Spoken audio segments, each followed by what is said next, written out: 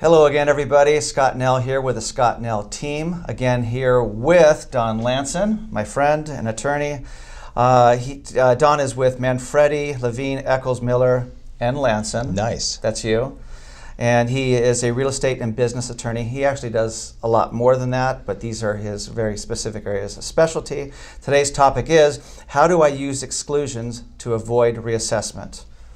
I'm noticing so many people are realizing that transactions are so tough now, they're trying to maximize every penny. Mm-hmm. And one of the best ways is obviously to try to get an exclusion from having property taxes reassessed when you actually transfer property or there's a change of ownership.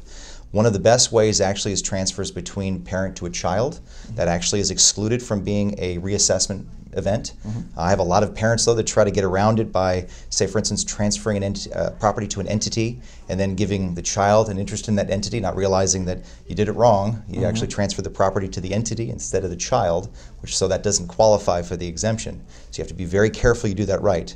Uh, the other one I see a lot is grandparents now, I guess, not liking their children, wanting to leave their property to their grandchildren uh-huh. and skip the, ki- the, uh, the kids altogether. What they don't realize is that the parents of the child, the grandchild, have mm-hmm. to both be deceased in order for that transfer to then not trigger reassessment. So there's much of other exclusions that are listed on the form, but right. be, be very careful in terms of making sure that applies. Talk to your tax professional to make sure you know exactly what you're doing is to make sure you don't get into a, a problem.